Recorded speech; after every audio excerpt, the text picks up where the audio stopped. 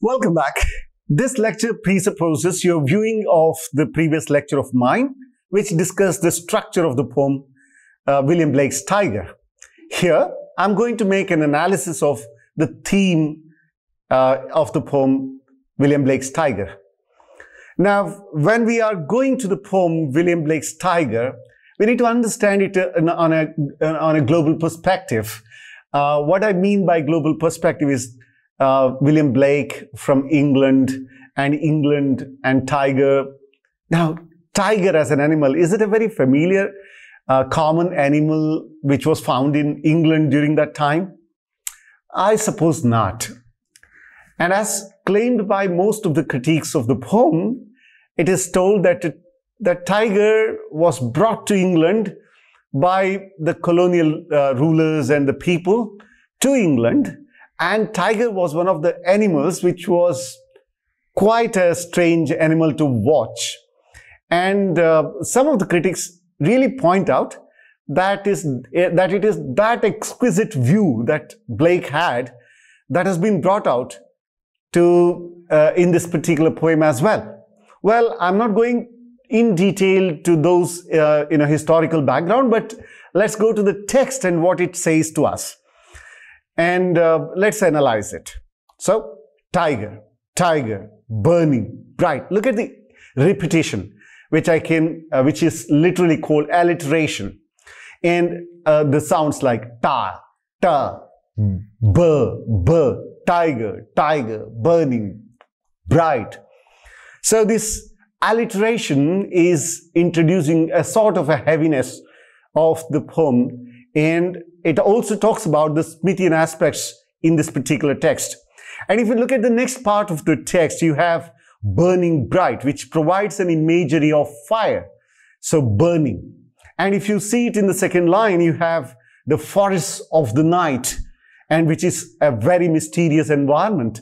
So the context is a very mysterious environment and you have an imagery of the fire and there is an alliteration of the sound ta. What is it all leading to? It is leading to a kind of an introduction to the protagonist or the poem, uh, uh, the theme uh, of the poem, the tiger.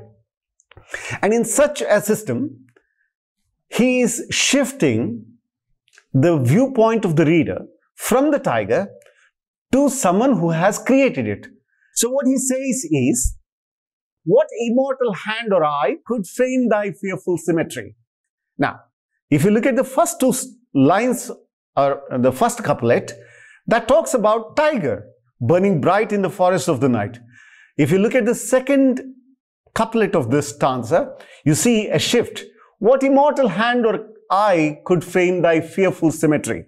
So the focus is now, or now onwards, is upon that hand or eye could frame thy fearful symmetry. So now, if you observe it very carefully, the poem is now no more about tiger. It is the hand or eye which could frame thy, thy, your, an old English expression, archaic one, which represents tiger in this context. Now, it talks about the fearful symmetry. Now, fearful is about fear and symmetry is about uh, the skilled creation which is producing beauty. So look at the juxtaposition, fearful symmetry. Now, if you look at the uh, part of it, there is a shift from tiger to the creator of the tiger, and then there is a shift from forest of the night, a very mysterious environment, to the juxtaposed way of posing fear and beauty. So this is how the poem is introduced to us to read, uh, extends, uh, to read. Now, if you go to the second stanza, you have in what deep uh, in what distant deeps of skies burned the fire of thine eyes? Or what wings dare he aspire? What the hand dare seize the fire? Now if you uh, see the deeps or skies as the uh, as available in the first stanza uh, first line of the stanza it is an allusion to the heaven and hell deep uh, i think i should have mentioned hell and heaven instead of heaven and hell.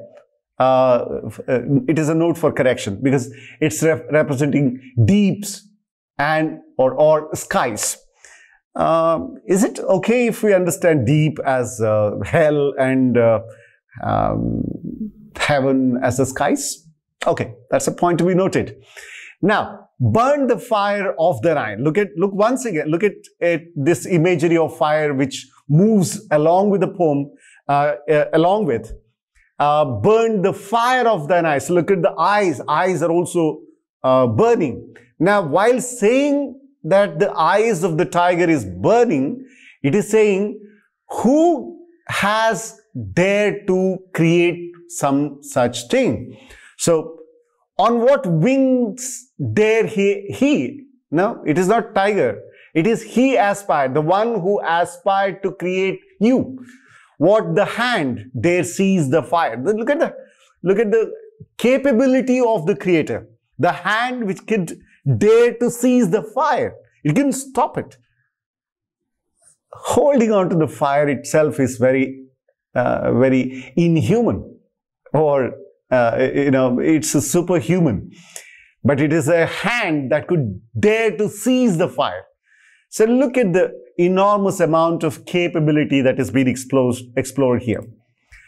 Third stanza talks about what shoulder and what shoulder and what art could twist the sinews of the heart.